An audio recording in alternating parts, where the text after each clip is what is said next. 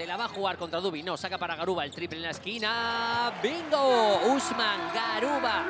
Rudy Fernández.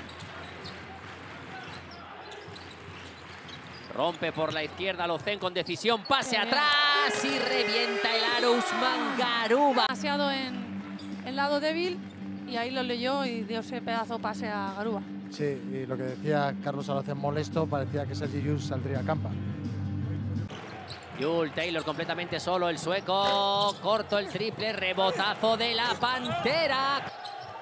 Sergio Yul se va de Dubi, en la esquina encuentra a Usman Garuba, aterriza, sale el triple de sus manos y la Pantera hoy está espectacular. Final del segundo cuarto, 42 a 39, todo por decidir de cara 10 puntos, 6 rebotes, 2 robos. Lleva Garuba, otro rebote más. Ya son 7 para Usman Garuba. Desde el primer momento lo hemos visto con muchas dudas.